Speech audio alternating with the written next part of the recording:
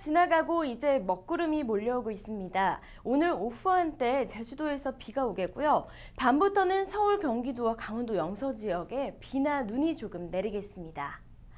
오늘 낮 동안에는 따뜻한 남서풍이 불면서 서울이 9도까지 올라 포근하겠습니다. 하지만 비가 그친 뒤 북서쪽에서 찬 공기가 내려오면서 점차 기온이 떨어지겠는데요. 내일 낮부터는 찬바람이 불면서 추워지겠습니다. 이렇게 갑작스러운 기온 변화에 건강관리 주의하시기 바랍니다. 오전에는 대기가 정체되면서 미세먼지 농도가 다소 높게 유지됐는데요. 오후가 되면서 점차 해소되겠습니다. 강원도 영서는 나쁨 단계를 보이겠지만 그 밖에 전국은 보통 수준을 회복하겠습니다.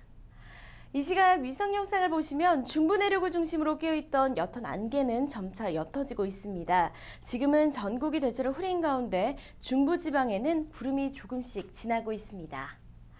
오늘은 서해상에서 다가오는 기압골의 영향으로 전국이 대체로 흐리고 오후 한때 제주도에는 비가 밤부터는 중부지방 곳곳에 비나 눈이 살짝 내리겠습니다.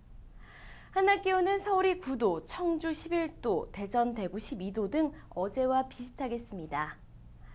바다의 물결은 모든 해상에서 0.5에서 2.5m로 일겠습니다. 다음은 내일과 모레 날씨입니다.